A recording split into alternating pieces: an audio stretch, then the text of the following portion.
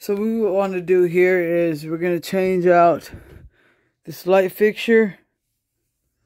Is it dirty? And we're going to put us an LED one up there with the switch right there. So what we're going to have to do is go up top.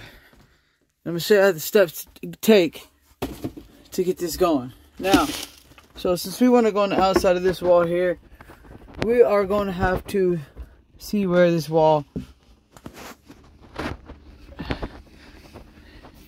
is set up at, which is going to be right underneath one of these. So we're going to do is we're going to drill a hole down so we can fish our wire right here. I'll show you how to do that. So we got our big drill, drill bit. We're going to just go ahead and hit, ah, that's about right here.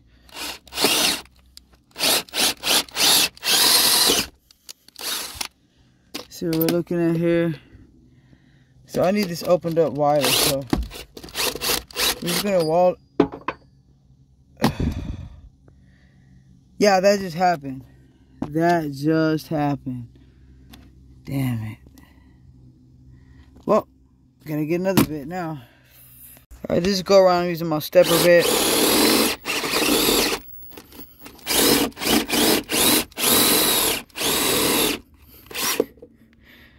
So it does it steps the hole up large as you go. So we're to continue to use this. But I can see the walls right behind us, so that's where we need to get to. So I know I drilled my hole like right about here. So you can feel here, there's to be some wood here. We're to cut about right there. I like this height, turn it on. Typically you want to use a sheetrock knife to cut out a square, but I'm to use my trusty butter knife, or should I say butterfly knife, and give me a hole started right here. Alright, so I got my box cut out, perfect size for this, and then, uh, see these tabs are to, that tab's to catch that, this tab's to catch this up here.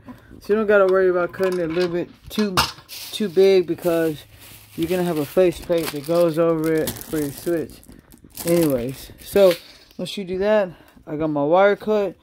then you're gonna check the wires coming out there for voltage. So now I'm gonna go up top of this.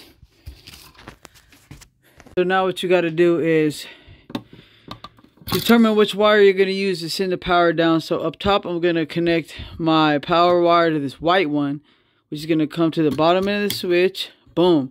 Stop it here. So when I click up, it'll send it back up to this black wire, which means I have to tie in the black wire up there to that one to make it work. Which is going to be to this. So that's how the switch is going to uh, work on and off. And I always like to throw some electrical tape around this, button this up securely, and we're done with that. All right, so remember, I got my power. Instead of bringing my power straight in to the light, we bring it to the white wire, remember? Going to the switch in the front and back up to the black wire, which is where I tied in right here to go to our light. Now we're going to try it out. We know it's going to work. All right, now this is how this thing works.